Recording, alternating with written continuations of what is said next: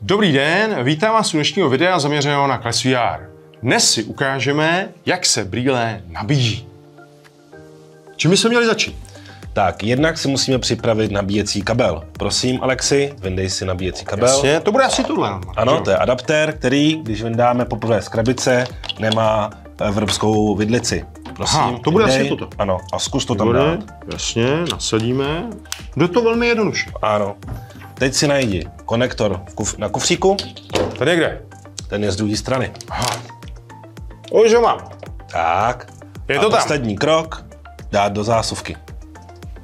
Takže si vydáme zásuvku, 230 V a vložíme do zásuvky. Ano. Mám připojit všechny brýle? Ano, přesně tak. Máme tady konektor USB-C Aha. a do nich zapícháme všechny čtyři kabílky. Jasně. Slyším ventilátor. Takže Ano. to asi funguje. Když zavřeme kufr, tak aby nám to chladilo, nic se tam nezahřívalo, od toho máme ventilátor. Paráda. Jak poznám, že se brýle nabíjí? Je to jednoduché, Uh, máme tady hnedka u konektoru diodku, která zobrazuje stav nabití. Červená, úplně vybito, lehce nazelenalá, nabíjí se do 100%, zelená, nabito. Super.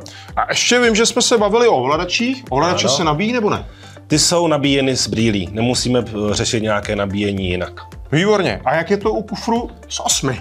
Tam je to naprosto totožné, jenom nabíjecí kabel je malinko jiný. Zde najdeme klasický eurokonektor,